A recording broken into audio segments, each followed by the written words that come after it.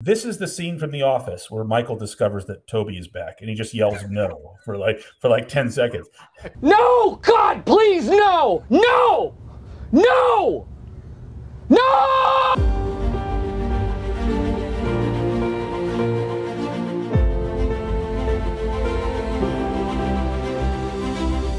We are going to take a look at episode one of The Rings of Power, uh, A Shadow of the Past.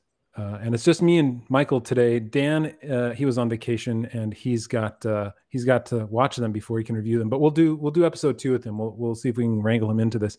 Uh, so as we go through this first episode, uh, we have sort of a few questions that we're going to be honing in on. Things that mm, stuck in our brain as we were looking at it. Is it is it satisfying the certain questions we have? Those are one, uh, is it faithful to the text or what do we pull out of it that we also pulled out of Tolkien?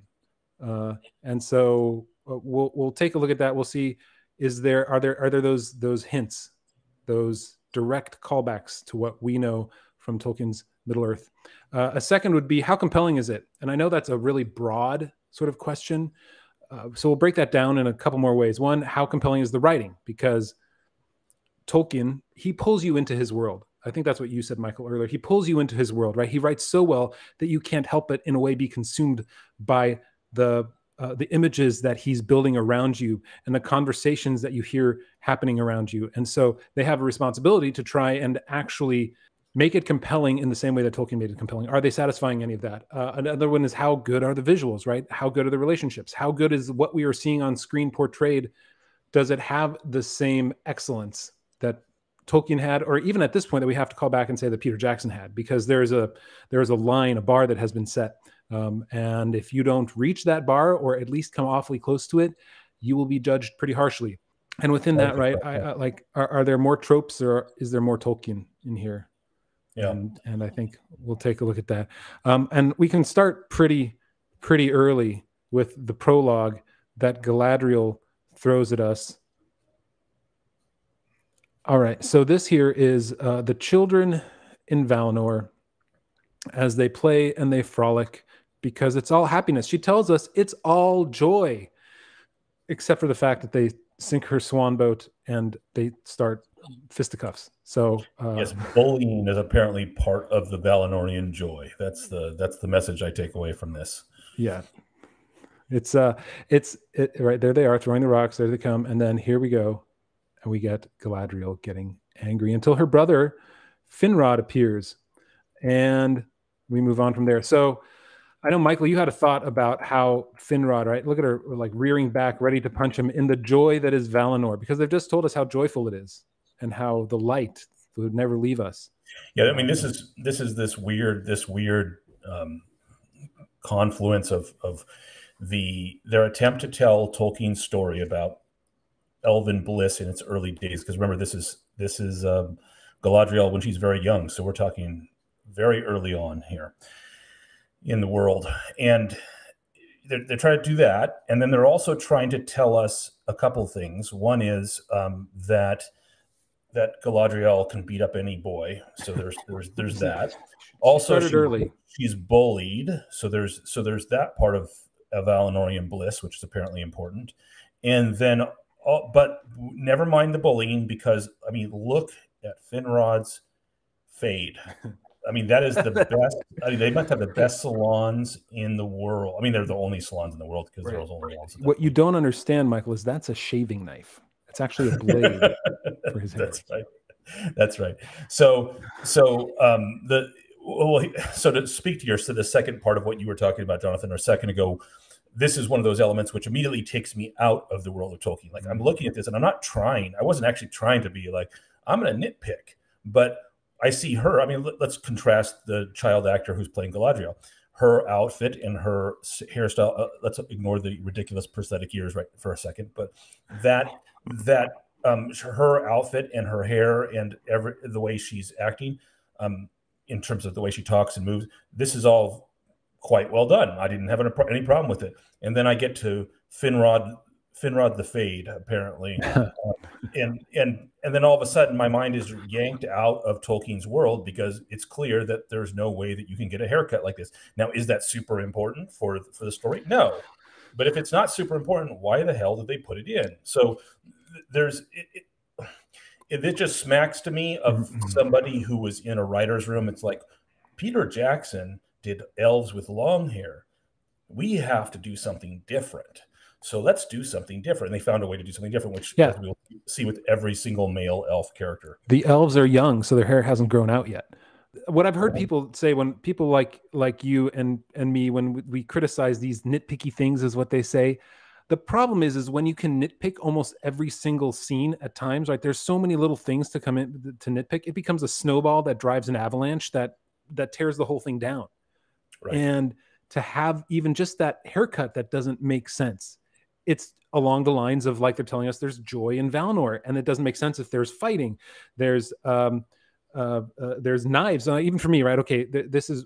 I mean, I would think this is before Feanor like had left Valinor already, and so we're not talking about. There wouldn't be any knives yet. In fact, there wouldn't be any weapons really. Well, it has to be. So, so, the, so none of the no darkness has come to Valinor yet, and we know right. this for a fact because Galadriel's young and she was a grown woman or a grown elf when she um when when when the everything with Feanor happened, the vow and the the darkening of Valinor right. and the, the Morgoth's flight, etc. So this is many years before that. So there's no strife yeah. here. There's nothing, yeah.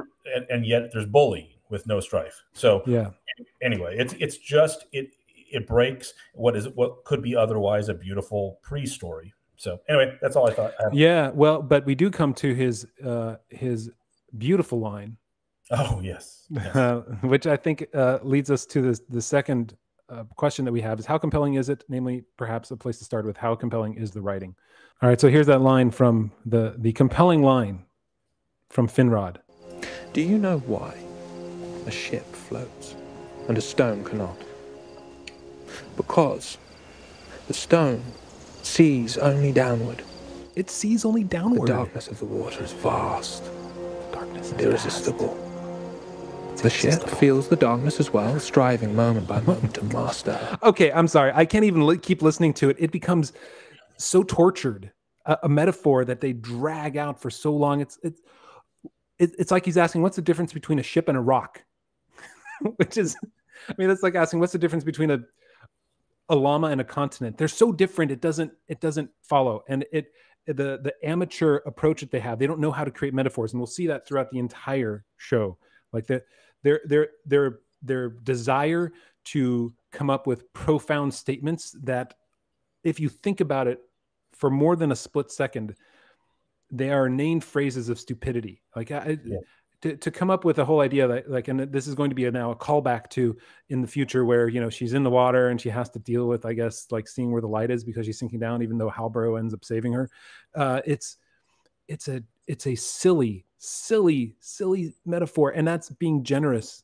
I don't know. It's just painful yep. to me, and you know, I've I've read I've read so much better, and I've written so much better. I feel like even than that.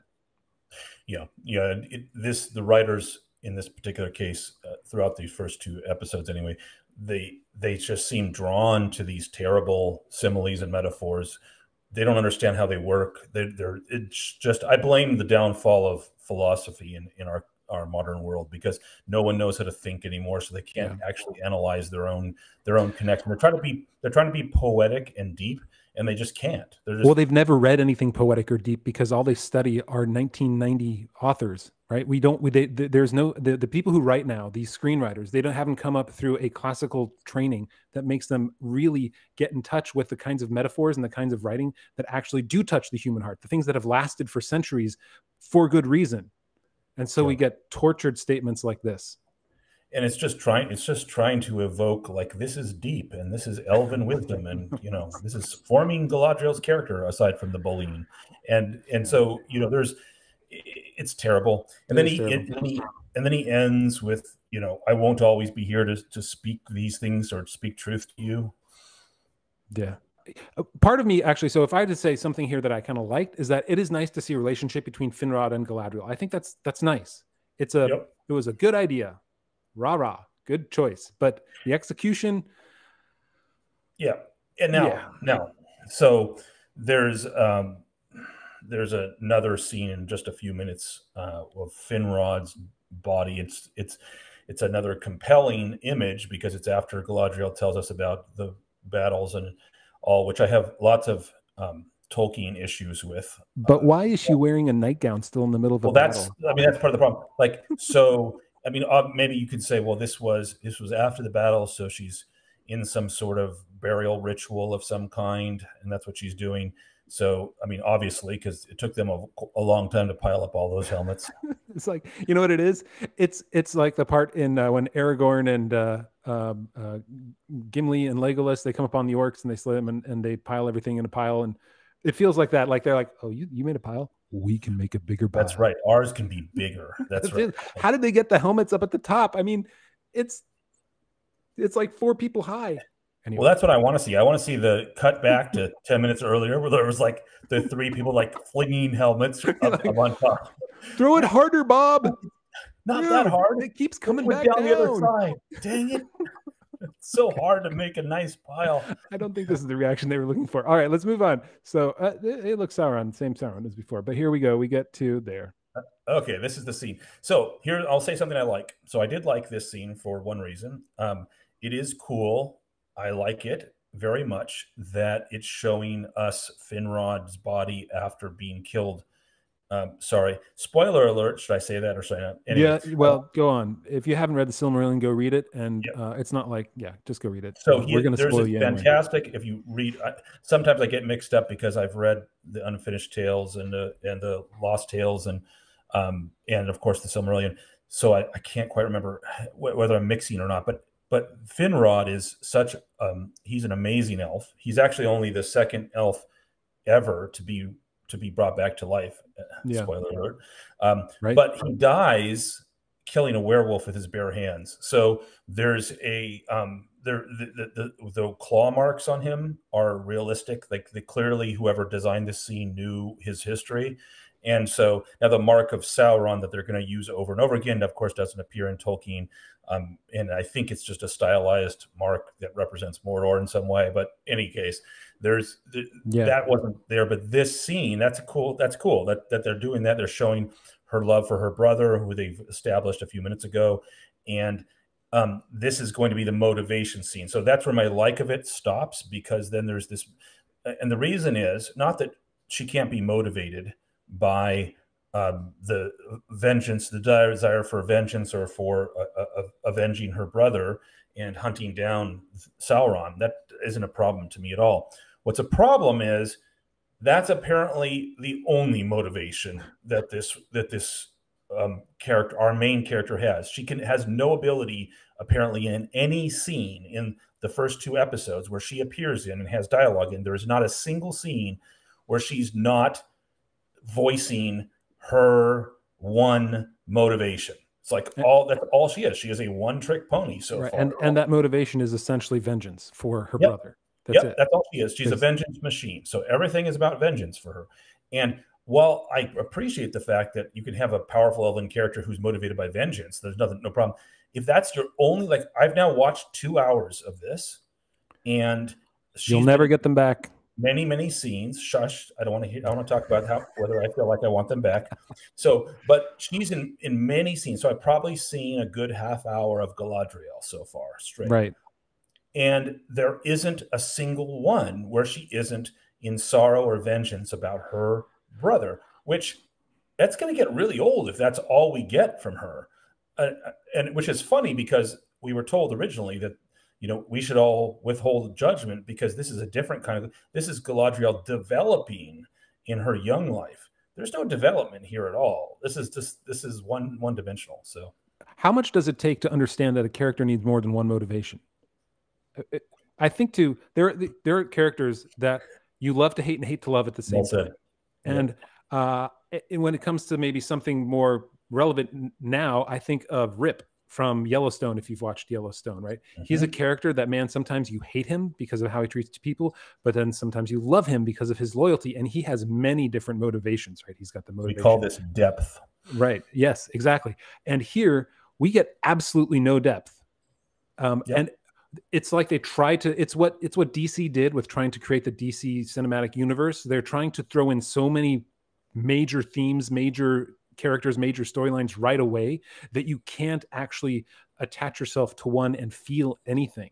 We'll, flip right forward right here into her well once again her going up but but right away it's her vengeance right there's nothing more and so there's there's no time to actually build any nuance of like so she loved finrod or maybe uh, you know she, well she had her familial love of finrod uh, but maybe she, there's also vengeance because we haven't seen Celeborn, and so there, there, could be Celeborn. But then maybe then you know there there's a love of of her being you know if we were to go back to what Tolkien wrote, being a leader of people, and she loves the land and she wants to be there, and she misses it, and so she's torn between going after going after Sauron and living the life that she came to Middle Earth to actually live because, well, there's actually a line. That's what's cr- crazy is it's almost like they know the writers know that that's a problem because there was this line shortly after the scene that we're looking at right now where she's trying to convince her elven rangers that are traveling with her her soldiers that she mm-hmm. really does she, has, she says something like i'm going to paraphrase here but she says something like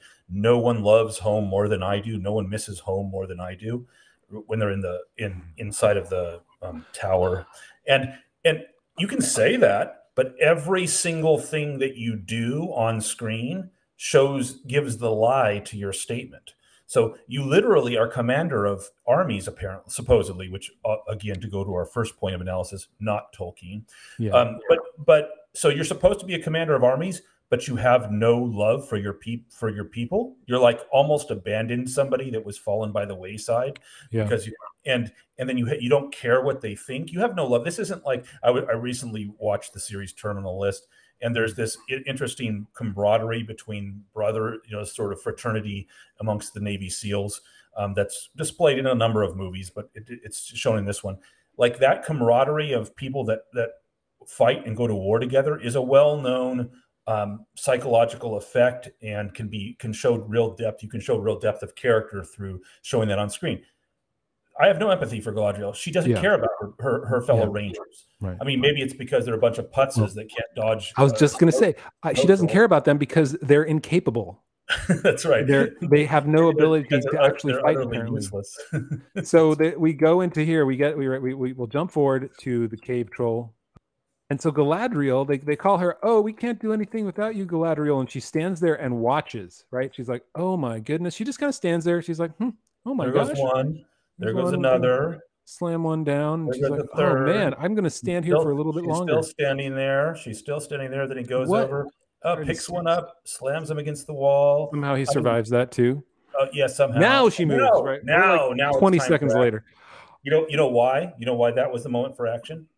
Because there was an elf on the ground that was about to launch her up. She was like, I got to wait for that guy on the ground. I got, I got to wait for the sword pulling, the sword. Yeah, okay. Goes. Right. My point here. Okay. This is now coming back to, is it excellent? Does it make sense? And they're trying to be like, what did Legolas do? He slid That's down right.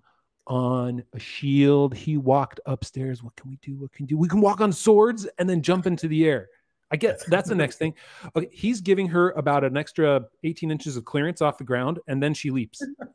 and somehow in this leap, woo, look at her go. Okay, he flips her up, which is I don't even know how that happens. That's so bad. But he, why doesn't she just jump? Right? Okay. So then one, one swipe, she doesn't get hit after everybody else does. Bam, two. Okay, she knows now. Okay, she's there. Oh, I'm gonna flip over, and he's gonna miss him, hit him in the, the leg, and then there's the standard no look right there, and then mm-hmm. whack, and then another no look coming up. Boom, and the unnecessary dance of blades right there. Uh, it, she's she's amazing. She didn't break a sweat. She didn't wasn't ever in any danger. She has uh, nothing to worry about. Yeah, there's so. she was never never any danger. It wasn't it wasn't. I mean, if we cared about her, maybe that's why they didn't put her in any danger because they knew we wouldn't care yet about who she is and, and anything. I mean, look, this is a scene that's supposed to establish how badass she is, right? Yeah, so we're supposed to say, "Wow, that's amazing." And there was actually even one reviewer from a major magazine, Entertainment Weekly, um, who was talking about like if you they made a reference to like if you only want to see how how awesome she is, you know, and they reference the snow troll fight scene. Yeah. And and and I just thought after I watched the scene, I thought I think that scene was meant to appeal to people as shallow as Entertainment Weekly authors or of their critic critic articles because because anyone that knows or enjoys action movies and stuff, this all just looks silly. This doesn't Mhm. look like what it doesn't it doesn't make inspire you. no. Uh, I mean, one of the things that Game of Thrones did a really good job of was was showing us the brutality of medieval, um, relatively medieval level weapons combat and arms and armor. And this is just like the worst of all worlds. It's not that, and it's I mean, it's like Crouching Tiger, Hidden Dragon, but you know, with the wire foo stuff, and Yeah. uh, it's, it's just It's it's yeah, it's unnecessary. They they could have done this and and, and later, right? Establish her before she becomes this uh, yeah. unstoppable force. Uh, Yeah. and then of, and then so, of course So anyway, Yeah. on from on from here, now we're into she's her men give up on her. She's like the, the she's the only competent warrior in this band of warriors apparently, and then they all give up immediately. Now that they've Well- discovered that, that there's a sign that Sauron uh, is exists. Yeah, I think and were, be- you were saying and- that originally. So uh, speaking of then of that sort of the men give up on her before we jump into anything else like the harfoots and the other characters i want to jump all the way um, to to the reason apparently everybody gives up on her uh, including uh, gilgalad and elrond. Yes. Oh, okay, so so so this is at the point where she's been given a quote unquote reward um, for her for her service, and which according to tolkien gilgalad has no right to give her so this is which is I'm gonna have we're gonna have some fun with that in a second, but let me just Yeah. uh, for the Tolkien nuts here. Let's let's just recognize the truth. So after the War of Wrath, there was a general call by the Valar for the elves to return to Valinor. So there was a moment which you could argue that she might have been able to return.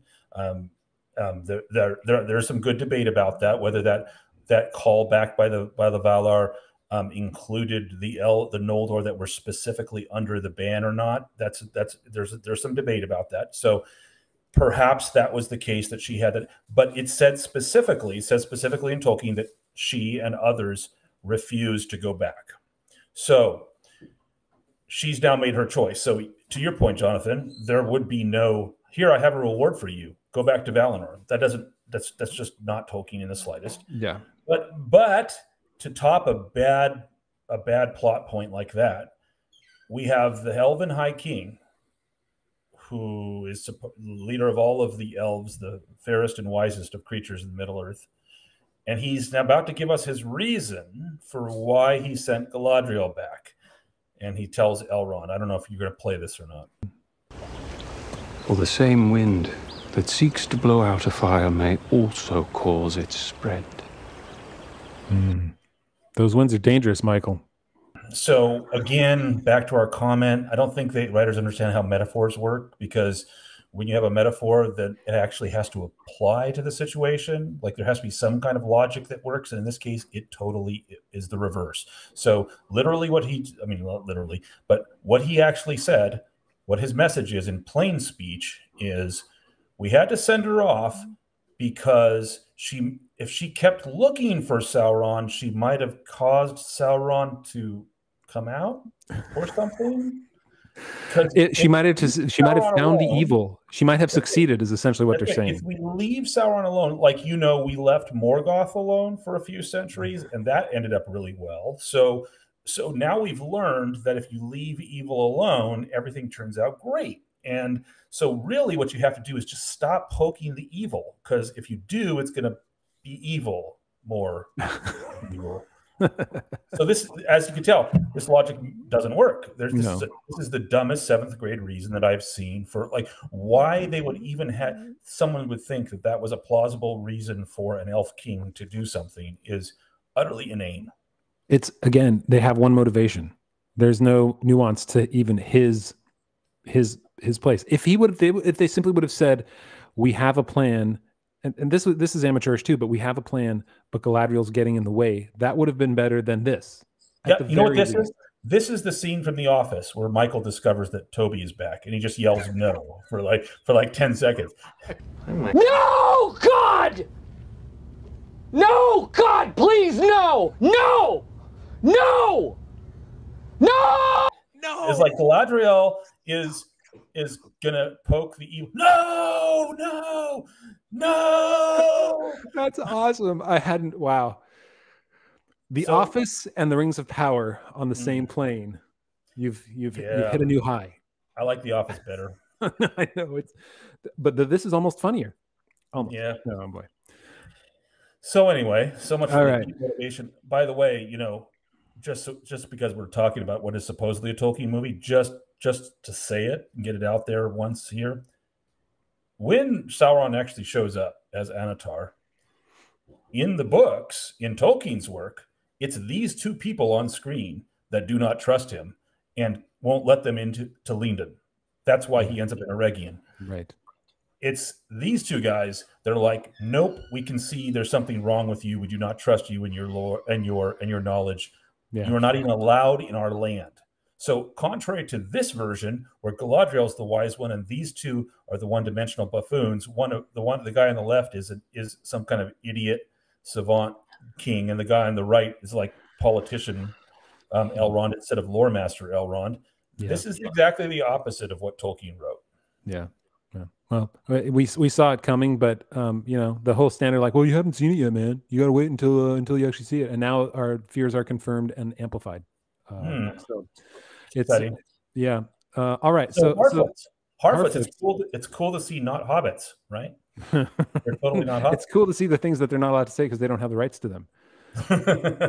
So they use that instead. So Harfoots, here we go. The dirty, dirty Harfoots. First the dirty men, and then then the dirty Harfoots. I'm still. I don't know how much more there is to say. They just don't. Um, they shouldn't be here. Like uh, you know, um, you know that they had to feel. They they put these in because they had to feel like they had to get them there. And then they're going to build. We know we're going to have the Meteor Man, and almost certainly he's going to be a wizard, if not Gandalf. And Gandalf's first meeting is now with the hobbits, and so that gives him some sort of uh, connection to the hobbits, so that in the future we can say like, oh, well, Gandalf was first discovered by the hob- hobbits, and they loved him. He loved them. Uh, he probably ended up teaching them now pipe weed. That'll probably come in here somewhere that that happens, and so that gives us a reason to say Gandalf had a fondness for hobbits. Three Well, okay. years later. Okay, so why do we have Gandalf here? Let's say it's Gandalf. I mean, it might be it might be Saruman, it might be Radagast, but it's definitely an, uh, a Maiar, right? So why? But why do we have him? Why is he here? Um, we all okay. If you read Tolkien, Nostalgia bait. uh, they did not. There were there were no wizards in Middle Earth until for like literally. Hold on, let me do the math.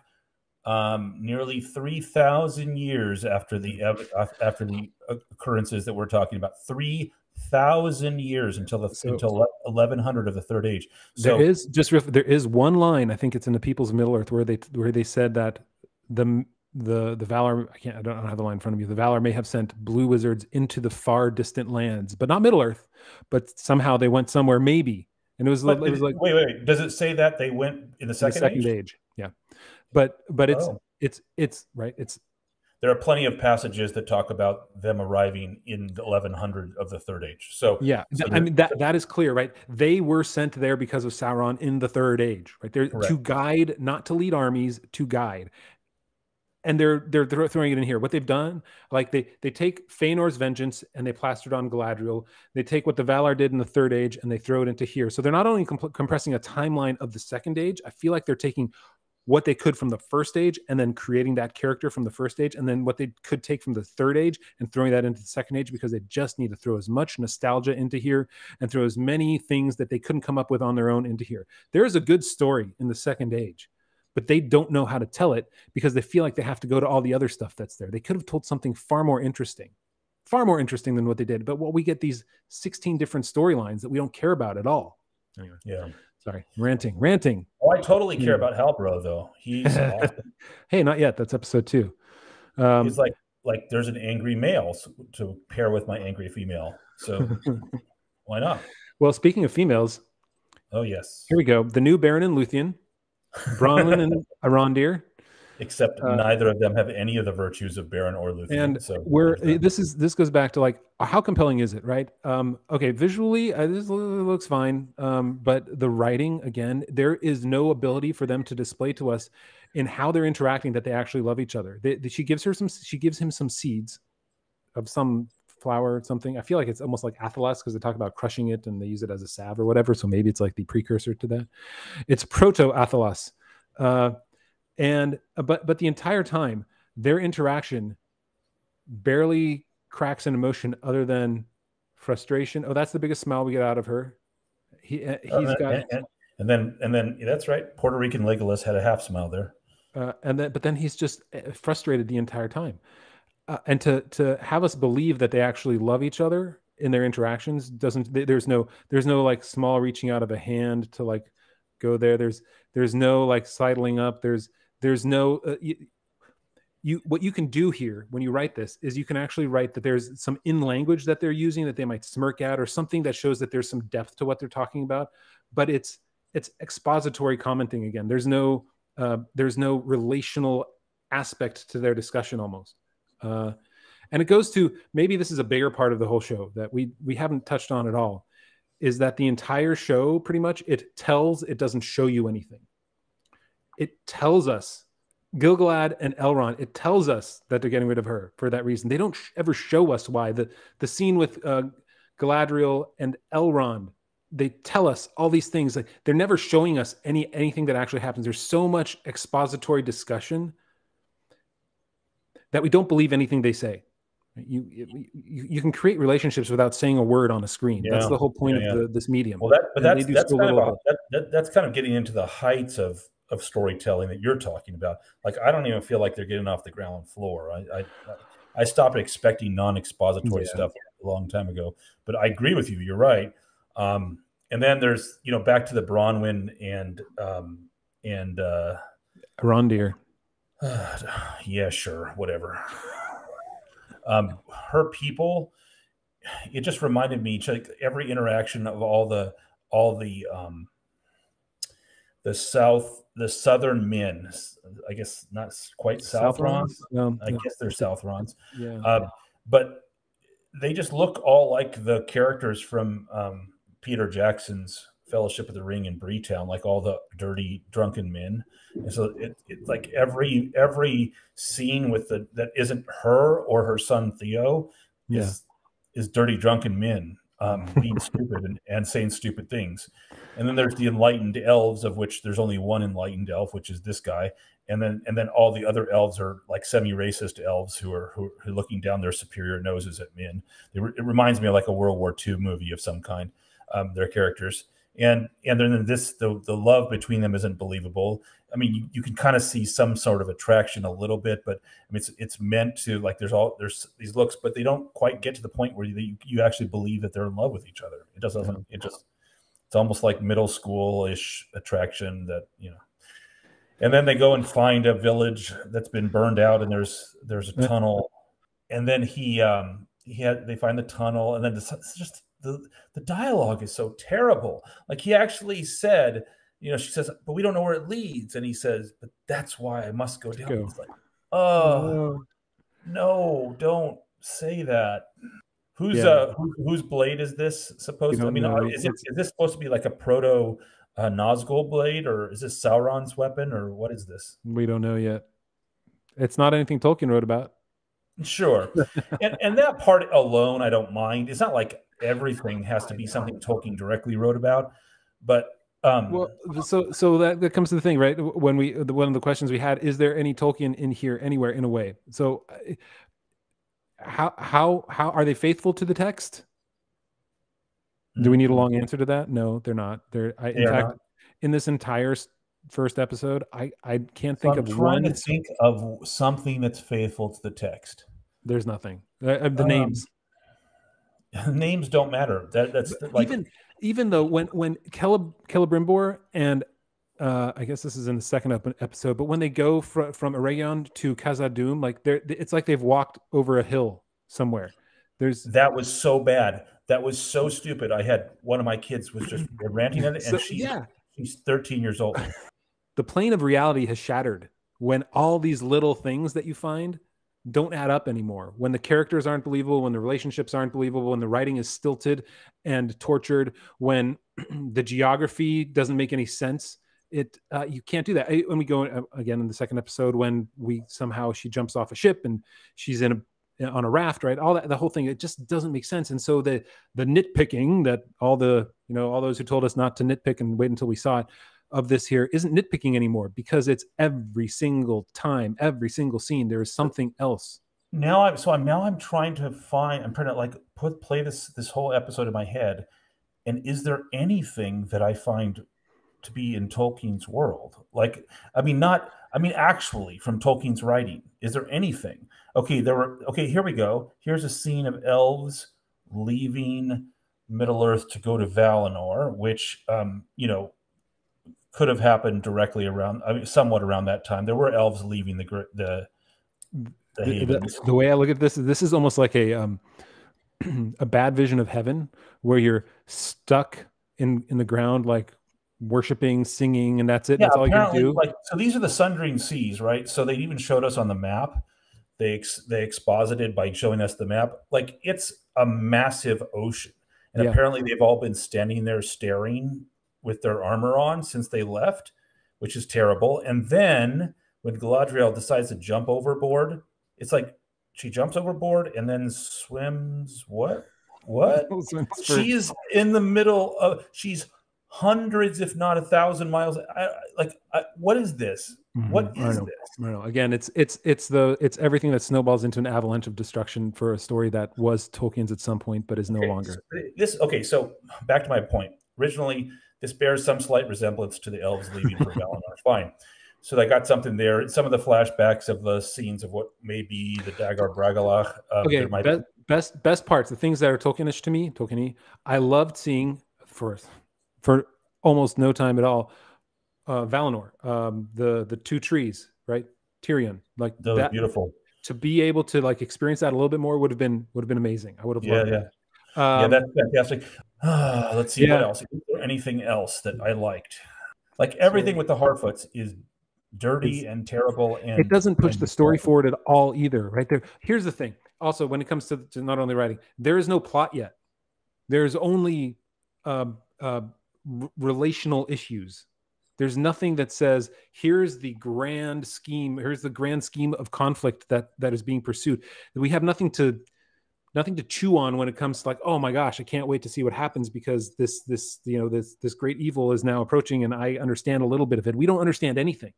We understand that galadriel has got something up her butt and she's she's she's going to do whatever she can including jumping off a boat in the middle of the ocean when she's seconds away from being saved. We've got uh, harfoots that uh, uh, don't ever wash and still stick shrubberies in their hair that find a meteor man but other than that there's there's no benefit that they offer to the story at all other than trying to be a callback to hobbits uh, yeah. Arondir and Bronwyn, you've got to have some sort of relationship. But why do they have a relationship? Why does the relationship matter?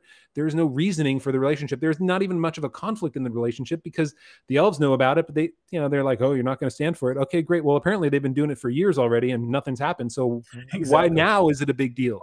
In fact, even if it weren't Tolkien, I think it comes off as amateurish and unpracticed. Yeah. I, uh, I, even I, even honestly, even some of the scenes, like the the special effects, it feels particularly with the the Harfoots uh, at night. The the scene with um uh, with uh, Elrond and uh, Gil-galad right here, it feels a little bit like uh, a Star Trek set. Hmm. The light is so flat the background doesn't look lived in right? There there's it's like a big scene. There's there's something the leaves don't look right. It's all it's all uh, a monotone color of the leaves. And it, it just doesn't feel like a lived in scene and that happens a lot. Maybe right. it's because it's on a you know we're watching 4k on high res screens now instead of 24 frames a second in a movie theater and that does give it a different feel. Like the hobbit looked ridiculously bad i think in the high frame rate. But yep. Uh, it just it, it didn't look to me like a well produced show. Um, it was, I think it was poorly acted. Gil-galad, probably my least favorite actor in the entire show. I thought he was stilted and bland and I didn't care at all. It's sort of like, how do you play regal? Well, you play regal by lifting your head up high and speaking in monotone voices with directness, and that's about it. There's no there's no nuance to him at all. Uh, just like I mean, Galadriel. Maybe Galadriel's my least favorite too, just because she's in the same way, just on from a from a, a single note perspective of, of vengeance and anger. So here's one thing I'll say. So most everything that we saw in all the trailers over the last six months were, were found in these two episodes. Not everything, but most things. Oh yeah, yeah. So so part of it is there's no surprise at all. So I'm going That's to a good keep point. watching this. I'm going Yep. to see where they take it in the next nine episodes Yeah. and um, I'm sure we'll have plenty of thoughts about it. But but um, so far, it just it comes off really like I mean, it just comes off like a corporate production. This Yeah. comes off. I already have one of my children that is refusing to watch another episode of this because they they don't believe the quote that I have from my oldest son is none of the elves make sense Yeah. Uh, yeah. and and he then goes on to explain how every single basically every, the the elves are supposed to be the primary actors in the the events of the first and second age or at least most of the second age aside from okay numenor you can make a case for numenor as, the second part of the second age but most of the and the, the- everything about the elves just doesn't make sense. This is not elrond. Like it doesn't it's not his motivations. Yeah. it's not his facial features. It um it's not i mean i don't i'm not talking about agent i, I hated elrond. He was the worst. I hated agent smith as elrond. Um i would rather have another elrond but That's so but funny. this is not that okay? This No. is not that elrond and No. and this isn't as to your point this is not gil-galad this isn't is this is not the Yeah. mighty elven king who would go toe to toe with sauron um and who wisely led his people for centuries Yeah. and Well, this all all this together begs then that we answer the question that that the showrunners put to us, namely, is this the novel that Tolkien never wrote? yes Yeah, I was going to say the same thing. Dang it, you beat me to it. No, Tolkien never Right. would have written this. You're absolutely right. Sorry, He would have like asking. just like he shelved the rest of the rest of uh, the, the sequel to the Lord of the Rings and realized it wasn't going to be any good. He would have shelved this and probably stuck it into the round file and thrown a match with a little bit of kerosene. Into it. I, I don't even think. I mean, you're. I think you're being kind. I don't even think he could imagine No, I twisting, know, twisting his world the way these people have twisted his work. Um, it's just, it's this. Yeah, it's terrible. It's terrible. is. Well, that was episode one. We'll try and do episode two with Dan. He'll come with a slightly different perspective, but um, but Yep. we, I mean, hey, maybe Michael, the only place to go is up, right? That's the, okay. the, the thinnest silver lining we've ever seen. Um, right. but thanks, thanks for joining us. I hope you enjoyed our our take on this first episode. Uh, yeah, we're pretty opinionated, but uh, we're having fun. I hope you had a little fun watching us. Uh, if you like what you see, share it, subscribe, click the like button, uh, click the right the like- thumbs up. Mhm. that- If you yeah. don't like what you see, also tell us in the comments. But Yeah. be sure to use reasons, please, not just emotion. don't, yeah, don't attack us. Look, we didn't use any names or call anybody any names. Right? No, nobody's an idiot. They're just they just don't know what they're doing. Right? They're unpracticed. Well, they they also have to meet the certain diversity, equity, inclusion goals that Amazon Which has. is why- a whole other conversation. yeah, this is the co- this is the corporate element. This is why this Yeah, comes right. across as a it comes across right. If we had to say it is essentially it's Wheel of Time episode, you know, somewhere else. Uh, whereas right. it's it's not it's not uh, Lord of the Rings, the, the prequel to Peter Jackson's films. Well, that's Nowhere and if I can say one last thing about that, Sure. when I when I had criticisms of Peter Jackson, it was interesting because my criticisms eventually boiled down to Peter Jackson's take on Lord of the Rings. It was clear throughout the entire production that he had a not it wasn't like his was the only mind forming this, but but he was the driving factor. His vision was the driving factor. His reference to Lord of the Rings, his deference to the text most of the time was the driving factor. And when I had issues with the Lord of the Rings in the in uh, as movies uh, 20 years ago, it was with his vision of Lord of the Rings. When I look at this, I do not see a single person's vision. I don't see a vision. There's no vision. It's just a bunch like of cor- of corporate patchwork Mm. puzzle pieces jammed together. Right. Um, and and it, it's just not compelling. So Bullied girl, strong woman, overbearing man, adventurous young female, uh, forbidden love, right? All these sorts of things that they had to throw in there. Yep. Uh, not to mention the diversity. lots of diversity, beautiful male hair, haircuts. It's awesome. it is bad. All right. So again, boy, it's hard to sign off because we can just keep talking. But thanks for watching. like, subscribe, appreciate it. Uh, follow us on Twitter. We're at Torque. Um, and also check out check out our site. We're going to be launching uh, not Patreon, but Patron for us to to help support us. And you know, if you like what you hear, we, we'd love to be able to do this more uh, and to get together. And you know, Michael and I, we live only eight hours apart now. So maybe one day we can meet up and then you guys can join us. So um, if you go to theonering.com slash patron, uh, you can see what, what you can do there. We'll get access to a Discord group. You get access eventually to a message board once we launch that. We'll do an extended podcast so you can see the uh, premiere or the patron version of that podcast. So um, if you've sat through all this, you're probably the ones that care about that anyway. So uh, thanks for watching, and we'll see you in episode two. Take care, all.